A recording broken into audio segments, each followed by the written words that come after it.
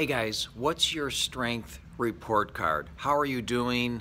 Are you getting a C minus, a D, a B minus, an A plus? Where are you at from a strength, fitness, muscular fitness standpoint? It's a good question.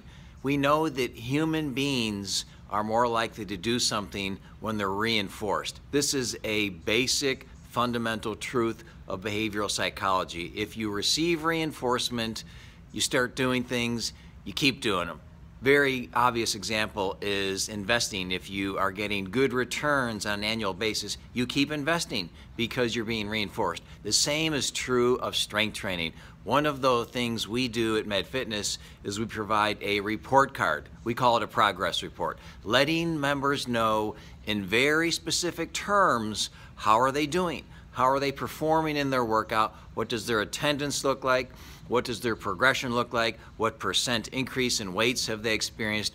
All important metrics to let them know in very certain terms how are they doing? How is their strength fitness report card look? I've just drawn up a progress report on one of our clients and she's anxious to get the data, anxious to look at the numbers, see how she's doing, to see what her progress has been because everyone does better when they're reinforced. Now, most people on their own aren't going to do this kind of tracking and monitoring and analysis, you probably need to work with a trainer, even if it's a little bit of time, where they can give you some concrete feedback, teach you some things, tell you what you need to monitor, what you should track. But again, keep it super simple. Does not need to be overcomplicated. But the fundamental truth is that humans do better when we're reinforced. This is across all behaviors. We find our progress report a great way to reinforce people, keep them with this behavior, which we know needs to be a forever behavior.